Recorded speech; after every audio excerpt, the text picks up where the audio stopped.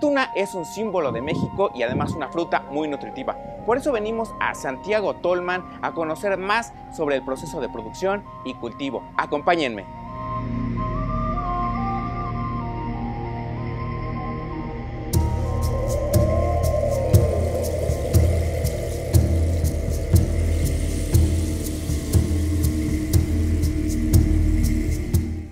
Soy ese productor de, de tuna, de una de mi papá, mis abuelos. Somos este, productores de tuna. Aproximadamente en la familia tenemos un aproximado de 180 hectáreas. Trabajar con la tuna es un producto pues medio cansado, delicado, pero muy bueno. Por la, la espina, es lo único que nos, nos perjudica, pero es un trabajo sano y honrado. Mire, Santiago Tolman la verdad es muy grande. Eh, producimos la tuna. Son seis meses para producir este producto eh, llamada tuna cristalina. Eh, hay dos, dos cosas. La primera, el producto de color se va para la Ciudad de México, donde nosotros lo distribuimos.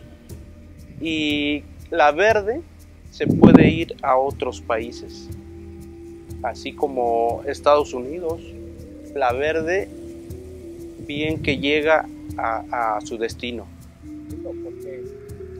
Eh, la cáscara eh, fortalece y llega a su destino normal, porque hay otra de la tuna reina que se deshidrata muy rápido.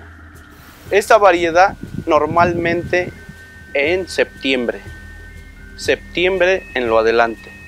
Porque ahorita en este mes de julio está la tuna reina y la tuna roja, que ahorita estamos en, en su apogeo de esa fruta. Esta fruta es cristalina, variedad cristalina. Y eh, hay otras variedades, hay picochulo, hay amarilla plátano y roja. La verdad sí, el campo para nosotros es vida, así lo podemos decir. Eh, nosotros, lo que se alcanza a ver aquí, pues la verdad nosotros somos campesinos y nos gusta nuestro trabajo.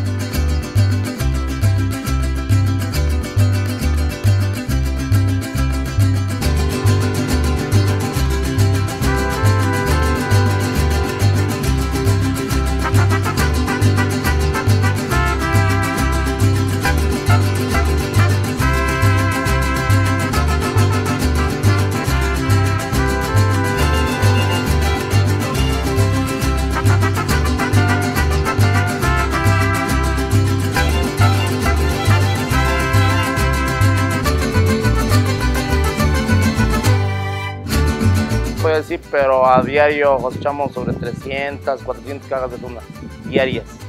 Sí, a mí me gustaría que ahora sí mi familia, como mis hijos, ya soy padre de familia, mis hijos este, sigan este labor que es muy bonito en.